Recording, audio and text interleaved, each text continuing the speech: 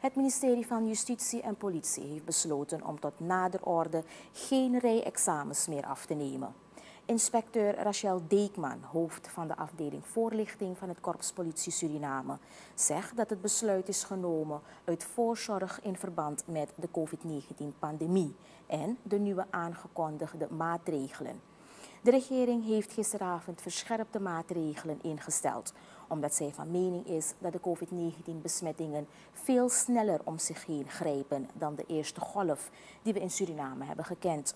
Het is vooralsnog niet bekend wanneer er weer een aanvang gemaakt zal worden met de rijexamens. Het besluit van het Korps Politie Suriname om geen rijexamens af te nemen is tot nader orde ingesteld.